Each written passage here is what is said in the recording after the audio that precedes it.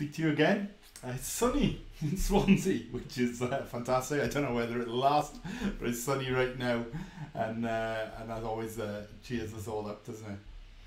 Now we come to a, ra- a ra- well, it's not a random group, but a group of books called wisdom books, and I think that the devil's very cleverly made us follow rules and laws when we read the Bible, and then it becomes too difficult and we start to say if we haven't read a certain amount in a day, we're a failure. And uh, if a Christian uh, needs to follow a plan, and, and sometimes thanks God he's not like other Christians who don't follow plans.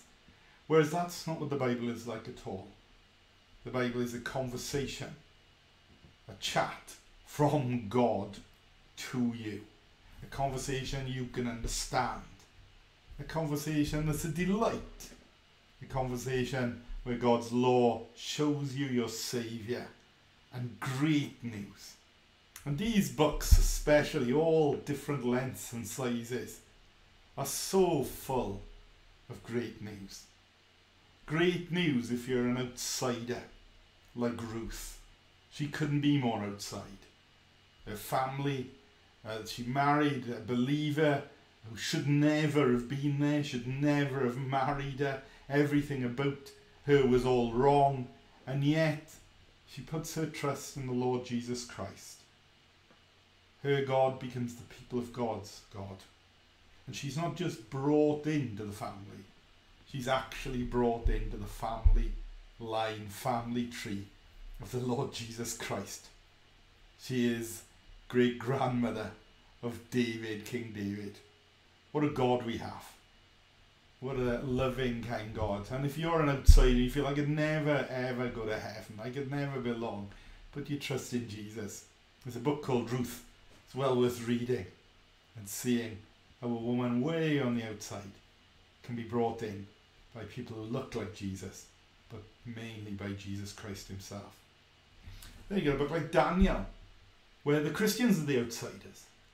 They're in Babel, Babylon, that looks like it is ruling the world. It looks like the kingdom of God doesn't uh, succeed or win. That's what it appears. But Shadrach, Meshach, Abednego, Daniel, they all realize that this isn't the end.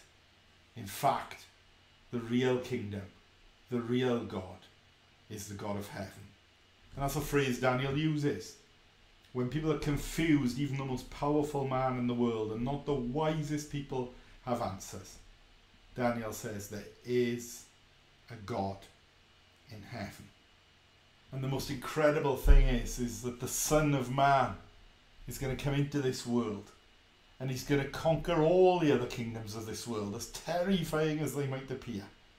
And he will ascend before the Ancient of Days and all authority in heaven and earth, and all peoples and nations and men of every language worship him. His dominion is an everlasting dominion and will not pass away, and his kingdom is one that will never be destroyed. That's the most incredible thing. Since Jesus Christ has ascended into heaven, the kingdom of God continues to grow. And that's the great joy and hope of the Christian as terrifying as all that's going on around appears, it's all happened before. And in the end, the kingdom of God is the only kingdom that will stand. I find the second half of Daniel as exciting as the first half. First half is men who are standing for Christ, and Christ stands with them in the furnace. Men standing for Christ and seeing the great powers bow down and trust Him. But then we see these incredible pictures as we look at the swirl and terror of life and realize the most blessed person is the person who waits to the end and sees that Jesus is coming back and He is in charge of all things. So when you look at the Bible, read it because God is breathing through it and wants to speak to you and he wants to speak to you good news of his son and bad news about all the false ways of living. Good news of the kingdom that lasts forever and bad news for all who think there is not a God in heaven who has purposes. And so these books continue. We might take a break uh, because it's Mark, we're reading Mark as a church next week and it's a big project. We might not, and uh, we'll do other things, but I certainly uh, will speak to you tomorrow and uh, God bless you. I pray that you'd have a lovely uh, day. Bye.